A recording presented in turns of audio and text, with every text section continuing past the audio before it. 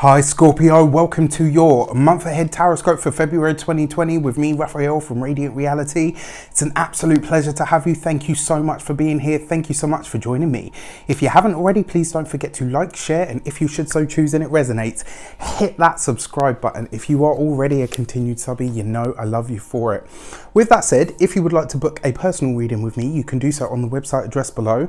If you haven't got your Mindset Magic or Tribal Tuesday seat, you can do so on the link in the description description box below. And as if that wasn't enough, if uh, you want to activate, if you want to find and activate your purpose, I'm doing a purpose alignment webinar on the 1st of February, on the 1st of the month, straight out of the gate. And this is basically gonna it's literally gonna be that. It's literally 11 pounds. It's like the price of two coffees. So if you want to get your seat please hit the link in the description box below.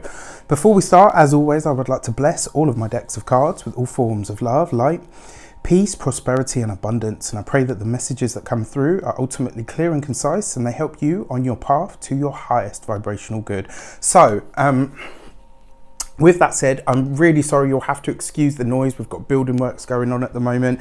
It is absolutely driving me insane, but unfortunately we have to soldier on. Oh, okay, so your actions and interactions with the world at large card has just flown straight out and you've got the Eight of Swords, right? Interestingly enough, I tried to film this video just before and you guys know I never edit my videos, but unfortunately I couldn't continue with it. And the first card that you got was the Four of Swords. This time what you've got is the Eight of Swords. And interestingly enough, the Eight of Swords is all about constriction and confinement, but it's also what you tie yourself to for the long haul. What is it that you uh, effectively are feeling either hemmed in by, or what is it that you are prepared to tie yourself to for the long haul now? And interestingly enough, uh, four times two is eight. So it's kind of like it resonates for me because the message that I gave you from the Four of Swords was that you need to, now a lot of you are thinking about what you need to do to rest. What is it that you need to do uh, in order to build up your energies and really consciously pay heed to your thoughts. The fact that you've got the Eight of Swords, this is about asking yourself, where are you spending a lot of your mental energies? Where are you spending a lot of your mental power? Um, and how can you ultimately bring that power back to yourself? This is a really big question to ask because when you do ask it, you can kind of observe your thoughts. And when you observe your thoughts, you can then try to, you can then start to really action them. This is when you start to choose your thoughts as opposed to just having them pop up randomly in your mind unbidden. All right, so your money and materials, you've got the Three of Wands. This is a beautiful card for money and materials. So for your finances, this suggests this week you could have a little influx of money for some of you. If you've got stocks, shares, and all the rest of it, you might have some good news from that. It's not guaranteed, of course, this is a general reading, um, but your Three of Wands is also expansion. So it, it talks, because this is a very Jupiterian card, and therefore it talks about finances expanding. It talks about your money, maybe even your outlook, possibly even your thought process and your thoughts around money and finances are starting to change this week. Maybe you have a personal epiphany or uh, evolution or revolution of some sort. And what I really like about this card more than anything is it just represents good times or better experiences of the thing that it represents.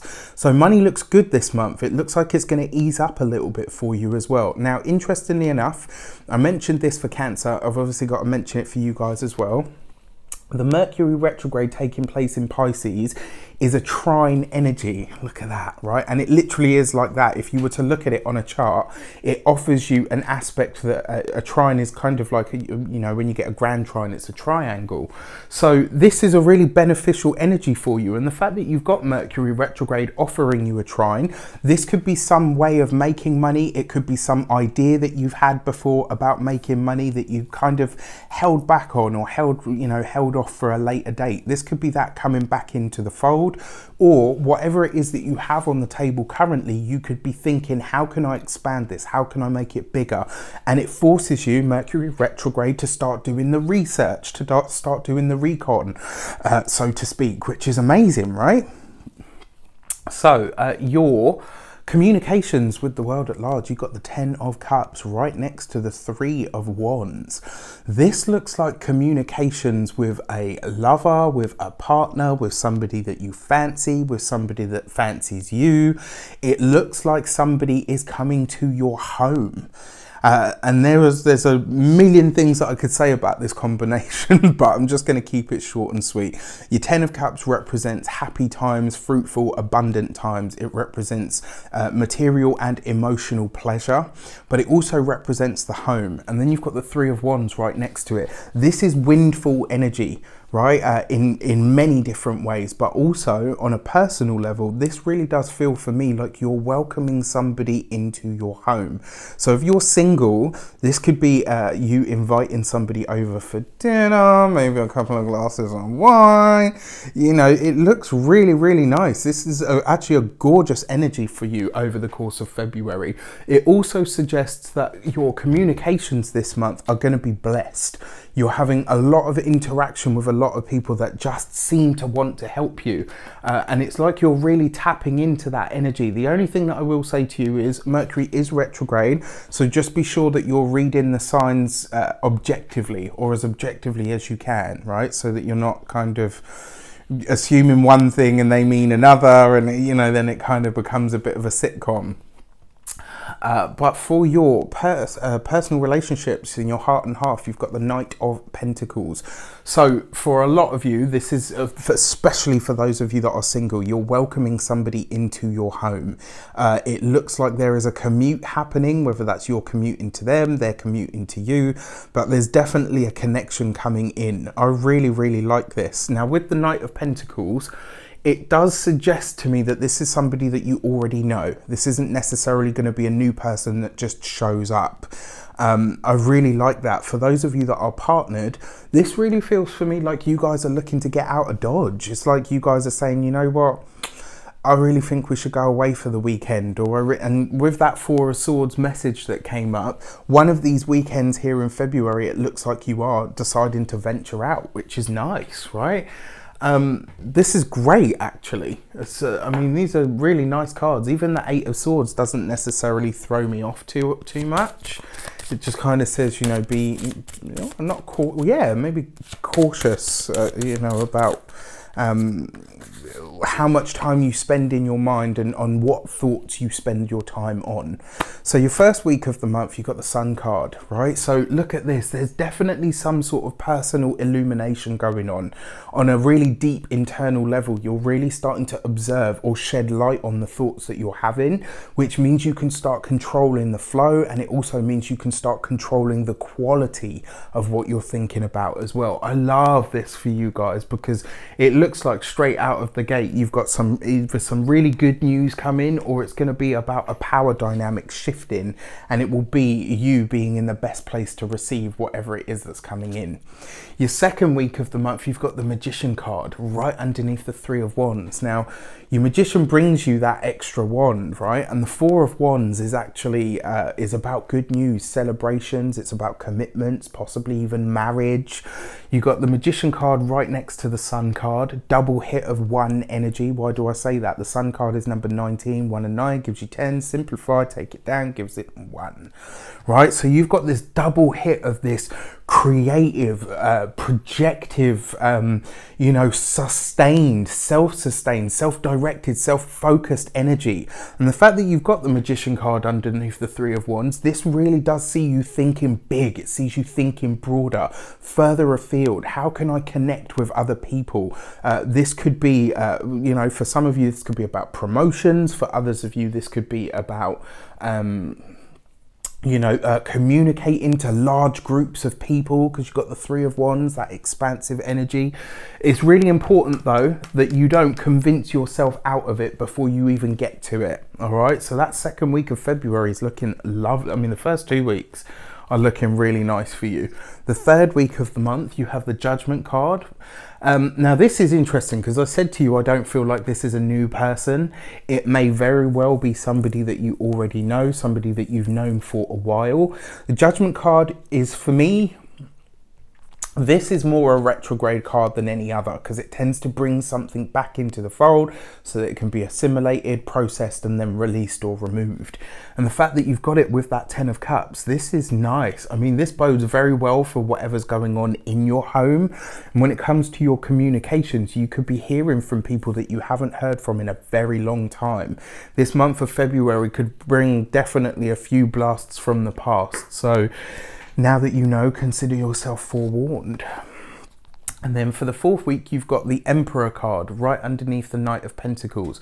So for those of you that are single, whoever this person is, they're very powerful, very self-directed, very self-focused. Um, the fact that they come through the guise of the emperor, very learned, very educated. Whoever this person is, they're super smart. They've got their own everything, right? To, to put it kind of frankly. The fact that it comes underneath the Knight of Pentacles though, this feels for me like there's an educational trip on the horizon.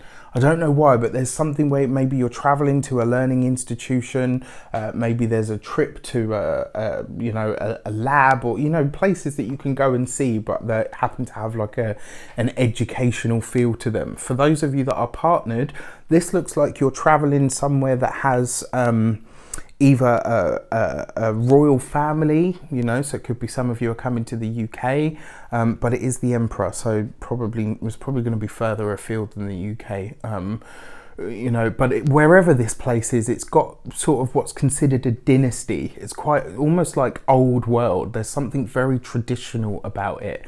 Um, so wherever you're traveling to, maybe even if it's just a spa that has like a Moroccan theme, or do you know what I mean? Something that's older or more old world or has like a bit of a, a boutique, not boutique, but boutique. Do you know what I mean? It's I don't know. It's, it's, probably the best way that I can explain it. But for those of you that are partnered, yeah, it definitely looks like you're traveling. For some of you, you might be planning this trip for March. That's definitely a possibility as well. So your key to the month is the Lovers card. Scorpio, you about to get down and dig dirty. Uh, it really does. For those of you that are single, it looks like this is the month where you are truly welcoming love in.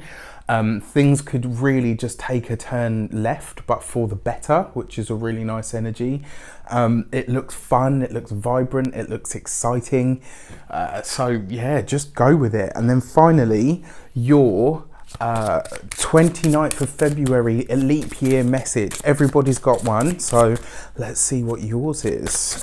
And your leap year message is the Empress, in order to be fruitful, in order to allow things to grow to become the best things that they can be, this is about you really opening up to what the possibilities are. And really, more than anything else, I would say this is about being open to abundance, being open to growth, being open to change, and really understanding that the beauty of life opens up when you do. This is about you really being brave enough to express parts of yourself that you haven't expressed to either either a certain someone or uh, just in general. This is about people really seeing different sides of you, fun, dynamic, vibrant sides that are uh, beautiful and fruitful. So, with that said, I wish you an abundance of all of that good stuff. Have a fantastic month. Let me know in the comments how it shapes up for you. Take care, and I'll see you soon.